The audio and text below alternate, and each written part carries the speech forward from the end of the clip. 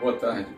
Me chamo Ivan Santana, diretor comercial da Cetrel, e gostaria de convidá-los para um Congresso Internacional da Ladia Brasil, que acontecerá nos dias 6 e 7 de abril em São Paulo.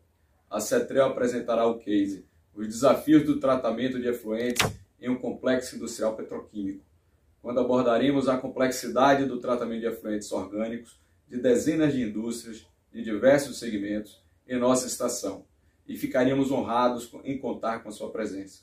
Você encontrará mais informações no link desta publicação.